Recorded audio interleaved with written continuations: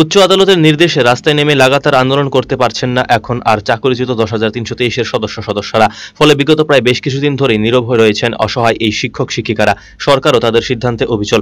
অন্যদিকে অসহায় শিক্ষকদের মৃত্যুর মিছিল যেন ক্রমশ লম্বা হচ্ছে। অর্ধাহারে অনাহারে দিন যাপন করছেন চাকরিচ্যুত শিক্ষকদের বহু পরিবার। এদের মধ্যে একজন হলেন আগরতলা শহরতলি সূর্যমণি নগর এলাকার জনৈকা চাকরিচ্যুত শিক্ষিকা। স্বামীর বাড়ি দক্ষিণ ত্রিপুরা জেলার সাবরুমে। ষাট শতাংশ প্রতিবন্ধী চাকরিচ্যুত এই শিক্ষিকা বিয়ের পরেই স্বামীর প্রলোভনের শিকার। পরিবারে রয়েছে দুইটি শিশু সন্তান। শিশু সন্তানদের নিয়ে তিনি থাকেন সূর্যমণি নগর এলাকায়। কিন্তু চাকরি হারানোর পর যেন প্রতিবন্ধী এই চাকরিচ্যুত শিক্ষিকার মাথায় যেন আকাশ ভেঙে পড়ে। শীর্ষ আদালতের রায়ে চাকরি হারানোর পরেও প্রত্যাশা ছিল প্রতিশ্রুতি মোতাবেক বর্তমান সরকার হারানো চাকরি ফিরিয়ে দেবে। এ নিয়ে বহু লড়াই আন্দোলনও চলে, কিন্তু ভাগ্যে এখনও চাকরি জুটেনি। এই অবস্থায় ছোট ছোট দুটি শিশু সন্তানকে নিয়ে এক প্রকার অনাহারে অর্ধাহারে দিন যাপন করছেন অসহায় পরিবারটি, যেন মৃত্যুর প্রহর গুনছেন গোটা পরিবার। এই খবর পেয়ে অবশেষে সহায়তার হাত বাড়িয়ে দিলেন হতাশাগ্রস্ত এই শিক্ষিকার সহকর্মীরা, অর্থাৎ জয়েন্ট মুভমেন্ট কমিটির সদস্যরা। অর্ধাহারে অনাহারে যাতে আর কোনো চাকরিচ্যুত শিক্ষকের মৃত্যু না হয়, তার জন্য এবার এগিয়ে এলো জয়েন্ট মুভমেন্ট কমিটি। নিজেদের কাছ থেকে চাঁদা সংগ্রহ করে অসহায় পরিবারের হাতে তুলে দিলেন নিত্য প্রয়োজনীয় খাদ্য সামগ্রী। শুধু তাই নয়, কর্মকর্তারা এদিন আশ্বস্ত করলেন আগামী দিনেও পাশে থাকার। এভাবে অন্যের সহায়তায় বেঁচে থাকতে হবে তা হয়তো কোনোদিন স্বপ্নেও ভাবেননি প্রতিবন্ধী চাকরিচ্যুত এই শিক্ষিকা।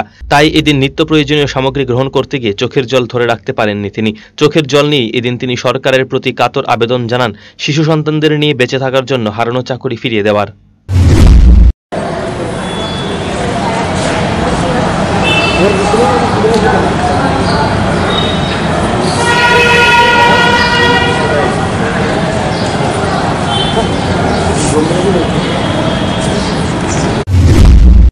আমার জব যাওয়ার পর থেকে বা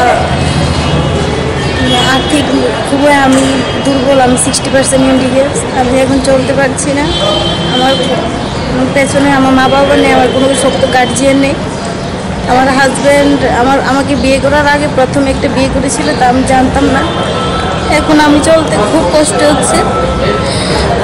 আমার মাননীয় মুখ্যমন্ত্রীর কাছে বিনম্র অনুরোধ থাকবে যেন আমার পাশে এসে তারা আমি কিছু